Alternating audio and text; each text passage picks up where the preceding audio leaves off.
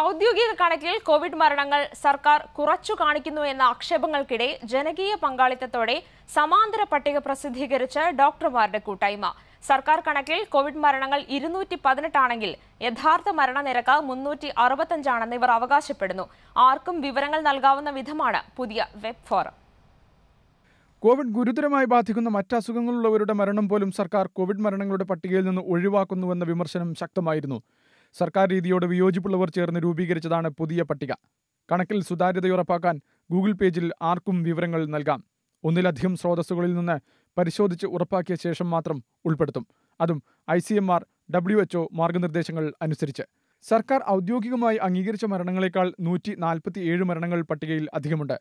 കണ്ണൂരിൽ ചികിത്സയ്ക്കിടെ മരിച്ചിട്ടും കേരളത്തിന്റെ കണക്കിൽപ്പെടുത്താൻ സർക്കാർ തയ്യാറാകാതിരുന്ന മാഹി സ്വദേശി മെഹ്റൂഫിന് പട്ടികയിൽ ഇടം നൽകി. അനൌദ്യോഗിക ലിസ്റ്റ് എല്ലാ ദിവസവും അല്ലെങ്കിൽ എല്ലാ മണിക്കൂറുകളിലും അപ്ഡേറ്റ് ചെയ്തുകൊണ്ടിരിക്കുകയാണ്.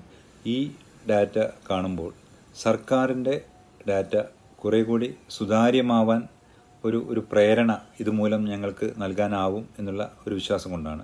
രോഗവ്യാപനം രൂക്ഷമായ ജൂലൈ മുതലാണ് കോവിഡ് ബാധിച്ച് മരിച്ച ക്യാൻസർ രോഗികളെ പോലും കൂട്ടത്തോടെ പട്ടികയിൽ നിന്ന് ഒഴിവാക്കിയുള്ള പുതിയ രീതി സംസ്ഥാനത്ത് നിലവിൽ വന്നത്. വൻതോതിൽ ആക്ഷേപമുയർന്നതോടെ ഇക്കാര്യത്തിൽ വിദഗ്ധ സമിതിയുടെ ഇടപെടലുമുണ്ടായി. എന്നിട്ടും ഓഗസ്റ്റിൽ മാത്രം നാൽപ്പത്തിയൊന്ന് മരണങ്ങളാണ് പട്ടികയിൽ പെടുത്താതിരുന്നത് തിരുവനന്തപുരത്തു നിന്നും സഹൽസി മുഹമ്മദ് ഏഷ്യാനെറ്റ് ന്യൂസ്.